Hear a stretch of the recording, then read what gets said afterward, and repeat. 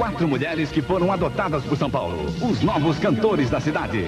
Sampa da Samba, com Djalma Pires, Miriam Batucada e Djalma Dias. Na roda, Romeu Tuma. E ainda, Língua de Trapo, Demônios da Garoa, Mariozan, Moacir Franco e Inesita Barroso. Jota Silvestre, sábado, 8 da noite. Bandeirantes.